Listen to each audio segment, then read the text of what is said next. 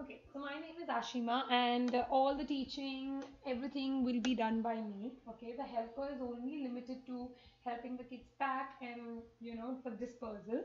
So the class caters to three aspects in English. You have comprehension, you have grammar, and you have creative writing. So we cover all these three elements for all the grades. Yeah, comprehensions involve passages which are fiction and non-fiction both. So informative and story as well. Now, in the comprehensions, we deal with different kinds of concepts, wherein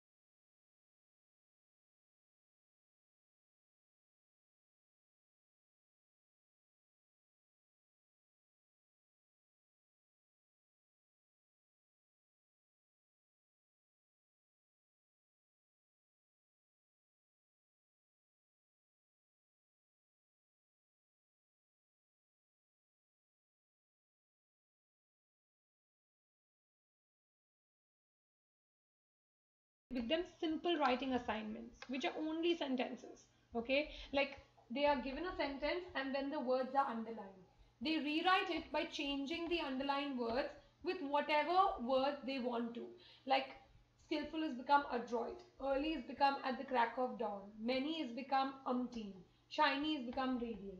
So it's up to you. They will learn three four words. It's up to them whatever they want to use. From sentences we move to paragraphs, your compositions and your essays. So here the vocabulary application means they are shown how to apply it. And after this, we even have OMOs. OMOs means where they're given a topic and they have to write on their own, but using these techniques. So, for example, this was a video. They so we learn with a, in a lot of way. They are given, you know, series of pictures or events, and they have to create on their own or sometimes I share a video with you, a small cartoon video for like two minutes, three minutes, and they watch and they create their own. So this was that cartoon video where these kids they get lost in the forest and they have a dog. The dog gets scared and he runs into this haunted house and the kids follow the dog.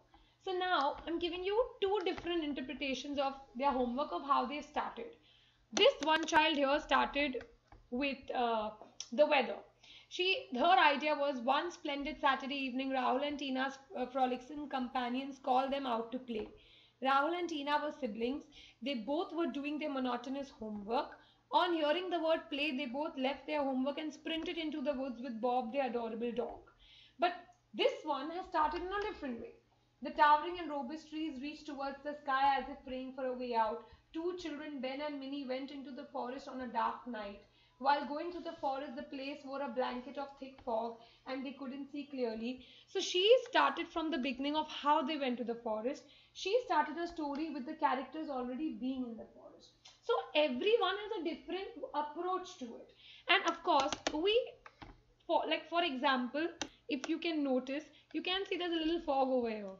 So you know how they pick up the elements from what they are seeing and applying. That's what's shown them what can you see in the video apart from only focusing on this character? Look around them also. Is there something we can add?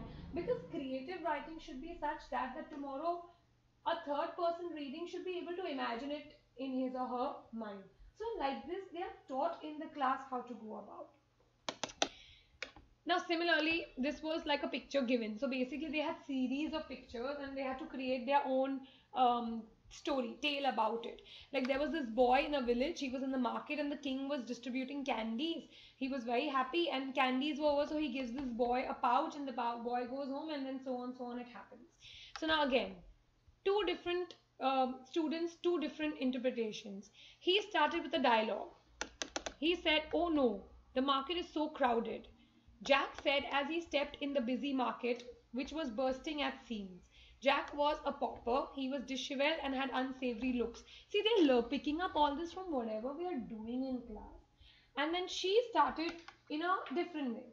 She said, Light years ago in a quaint village resided a lad who was born with chicken feet. His name was Rohan. He wore filthy, tattered clothes. He had a mop of raven black hair and was emaciated, for he was as poor as a church mouse.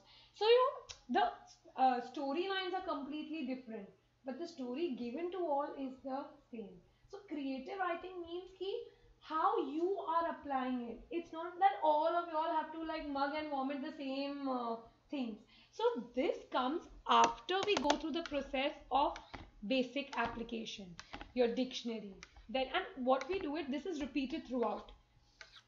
After they make a dictionary, the first thing we do is in the form of sentences. You know, it's always easier to first do it in a baby step, then a bigger step, then on your own. And it happens in every topic. Every new topic we do sentences, then a essay, then on your own. So this way it becomes habitual for them and they enjoy doing it. The only contribution I need from the parent in this is whatever we write in class, you know, this particular writing work this is written in a book. Whatever we are writing in the book, it's really important that the child has to read it at home. That this book should be read minimum thrice a week. Now, it's not too much because it's not that every class we are writing. You know, so if in one week you might have written like one topic, or in two weeks, two topics. Some weeks you might be doing grammar and comprehension, you might have not written that week. So it's not that you are reading like, oh my god, a lot of them, there are too many activities or it's burdensome for you to read. It's pretty much, uh, you know, simple and concise. Why? Look, we can't mug all this. When I read it, it becomes a natural way of speaking. And of course, when we're doing it in class, we encourage them to speak like that to each other so that, you know, it's normal. Grammar, okay, the rules are learnable, but you can't learn creative writing. Only when we keep applying it over and over again, it becomes very normal to us. And see, by the end of the day, they learn how to juggle their words. By juggling, I mean that if you're learning many new words, if I know that happy means jubilant and bleat, it's up to me how I want to use it. You know, somewhere I might just use happy, somewhere I might use fancy, somewhere I can make it easy, but you become the master of how you want to play around. So only help I need from the parents is that make sure that the kids are see anyway they'll read because what happens is they're given a creative writing assignment every week. Okay, and it's not some five, six hundred words or something they have to write, it's minimal. So they to do that writing assignment, they'll anyway have to refer to the work. Okay, so they are forced to do that. But if the reading part becomes a way of life, they will enjoy the process. But if one day before an exam or an assignment you'll open the book, it's not Aladdin's magic lamp. It's not going to help them. If they really do this bit religiously, in one class you'll see a change. One class. That's all I'm asking. So, uh, on a, and of course, whatever you're doing in language will help you throughout your life. It's not only till the 10th. What if after 10th you are not taking HSC and you're doing IBDP or A levels? There the English level is very high. And you know, all these things are new. It was not there initially. So you can't predict six, seven years down the line what your child is going to take or what your child is going to do. So to the struggle, instead of struggling then, you might as well start taking baby steps and learn things now. There should be no help in the homework. If the child doesn't understand something, it will come right back to me. But mother, sister, tuition teacher, anyone getting involved because the way I want to teach the child will be different. What I want to put in the child will be different. Also, see, I understand each child's potential. How much I would want to put in the child at a particular given time will be very different from what somebody else might want to do. The point is, we don't want to compare. We want the kids to grow as per his or her potential. In these 10 months, you have two exams. One happens before um, Diwali and one happens in the month of March because the class functions June to March. Even at that time, the entire revision before the exam is done in the class.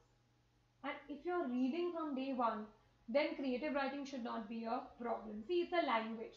When we are doing a language, it is should be very easy. It's spontaneous. There's nothing I mug in a language. It's the way I speak. To give a test or an assignment, there is no special preparation that you have to go through.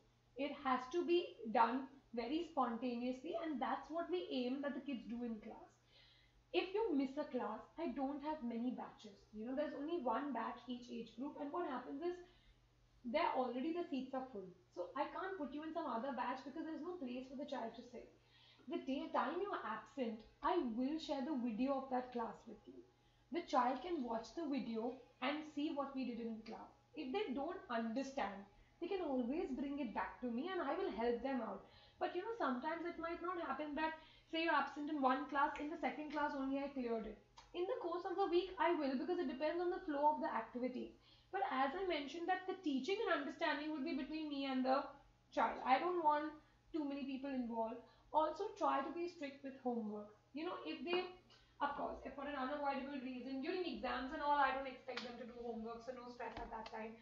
But say, you know, for some reason they were not able to do their homework, um, we try to chalk out a plan so that becomes easy because if homework piles up, it'll become too much. That's the time when, you know, what will happen is they'll just do a very lazy attempt and then they'll spoil the learning of that particular thing. So, of course, it's not, I'm saying, uh, by chance if it's missed, we can plan it, but don't make it a regular habit, otherwise the child will be at a loss you know and then later on things will become very heavy for him or her which I don't want it going that way. So reading is something I need you and me to share the responsibility. Remaining everything will be taken care of in the class. If there are any doubts you have pertaining to anything, please feel free to ask. Even if you remember later, you can always drop a message or something. Also, the class starts at 8:30 a.m. and I'm working till 8:30 p.m. So in the day, I might not get the time to talk to you because my lunch breaks are not fixed. But if there's anything, I will definitely call you after 8:30 p.m. I'm very spontaneous on messages. I try to message as soon as possible.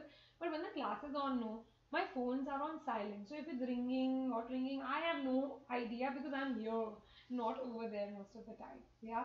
So I will definitely get in touch with you after class. Even when you're absent and if I have to send a video, I will send it to you after 8:30 p.m.